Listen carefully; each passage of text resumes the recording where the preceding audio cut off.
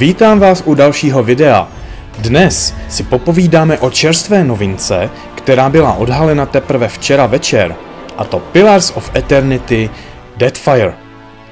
Jak jsem vás informoval na přelomu týdne, společnost Obsidian odhalila svůj tajný projekt Louisiana a potvrdila vlastně můj názor, že se jedná o pokračování oldschoolového RPGčka Pillars of Eternity – které dostalo zelenou a fanoušci již střádají částku potřebnou k jejímu zdárnému vývoji.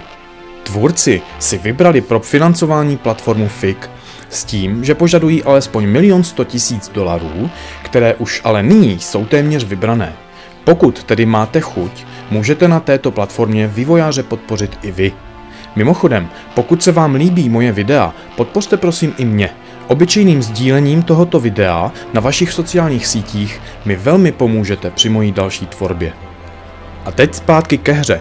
Druhý díl, Pillars of Eternity, by měl přímo navazovat na konec prvního dílu a tvůrci slibují vylepšení takřka na všech frontách.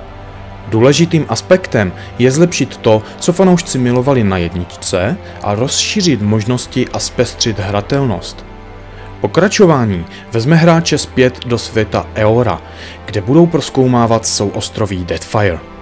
Pokořený bůh Eotas, o kterém se již myslelo, že je dávno mrtvý, se vtělí do tělesné schránky padlého titána, který byl pohřbený přímo pod vaším hradem. Při jeho oživení potom začne hotové peklo a vy začnete zároveň hrát za svého hrdinu. Velkým plusem, který právě tady ocení hráči prvního dílu, je možnost importovat si své savey z jedničky.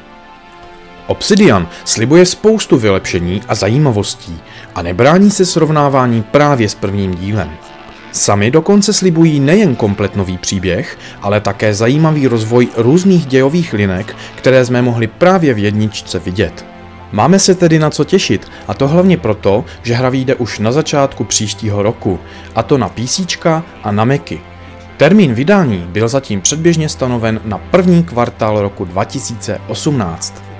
To je pro dnešek všechno a vy nezapomeňte odebírat, ať vám neuteče ani sekunda herní zábavy.